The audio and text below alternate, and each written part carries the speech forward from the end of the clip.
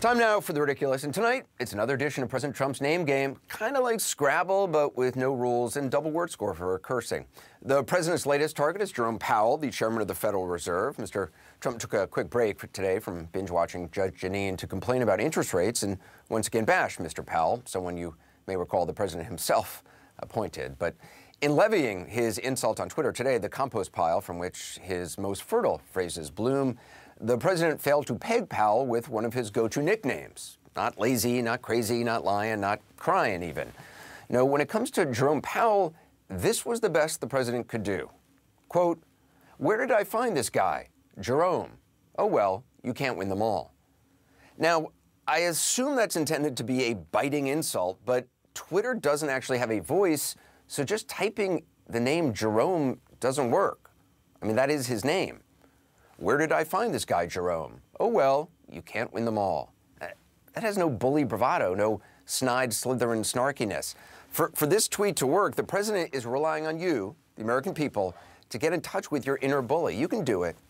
Jerome. Maybe that's too campy. Jerome.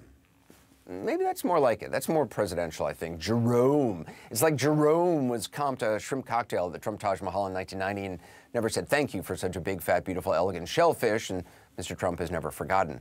The reason, though, one can assume that President Trump uses Jerome as an insult, aside from the fact that insults are his stock in trade, is because Mr. Powell is often called by his nickname Jay, and our very stable genius knows that. I have nominated Jay to be our next federal chairman. He's strong, he's committed, he's smart. Jay, Jay, Jay, Jay, Jay, Jay, Jay. Now I would like to invite Jay to say a few words. So, yeah, that was when he was uh, announcing him. So it's Jay on, on the good days, Jerome on the bad. No, I don't think that was a very good one. Also, let me just state the obvious there is nothing wrong with the name Jerome. I mean, no matter how the president says it or tweets it, it's a fine and distinguished name. There's Jerome Robbins, who directed Gypsy and West Side Story on Broadway. Jerome David Salinger, better known as J.D. Salinger, author of The Catcher in the Rye. That's a book if the president is watching. Even comedian Jerome Seinfeld, you might have heard of him.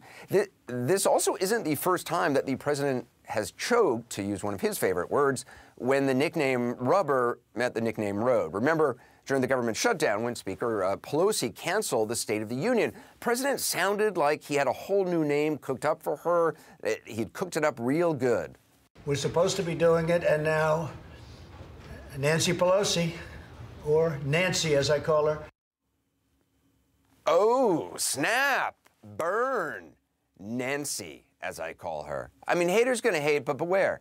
This president is a counterpuncher. He'll repeat your given name back right at you and then he'll tear off your birth certificate. Boom! Just like that. As for Mr. Powell, if he's bothered that the man who gave him his job is now publicly heckling him, he's not showing it, which is showing a lot of Federal Reserve, which is what actual human adults should do.